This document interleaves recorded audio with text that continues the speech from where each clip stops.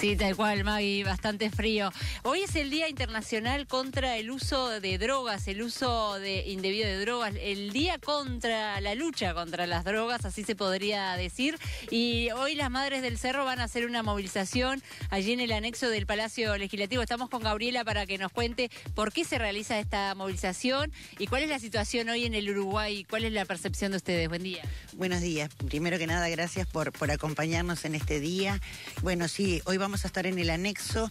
Las familias seguimos reclamando que siguen faltando diferentes dispositivos y diferentes leyes para que esto sea eh, en pos de la persona que está sufriendo.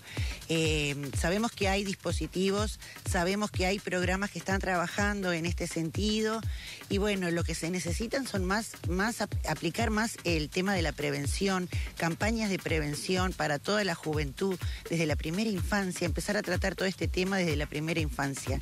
Porque el año pasado ya se aprobó la ley que ustedes pedían en cuanto a la, poder la internación. La ley de voluntad anticipada fue aprobada el año pasado, el 13 de julio. Aún sigue en el Ministerio de Salud Pública para formalizar cómo ejecutarla. Entonces, todo es muy lento. En este año se han perdido muchas vidas. Entonces, lo que nosotros como familia seguimos reclamando es la urgencia de todas estas medidas. Eh, ¿Tienen una percepción de un aumento del consumo? Ha aumentado el consumo, ha aumentado los riesgos por el consumo. Ya vemos todos los días muertes de personas dentro de las cárceles, en las calles.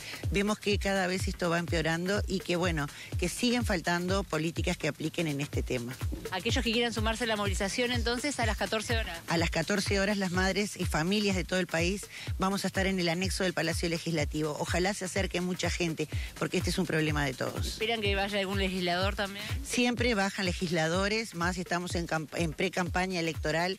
Esperamos que alguno se acerque para también mostrarle lo que las familias estamos pasando. ¿Hay centros, dispositivos para eh, lugares, eh, hay lugares que hoy están dispuestos para la internación? Mira, hay muchos lugares que ya están funcionando, desde lugares evangelistas, lugares de comunidades terapéuticas.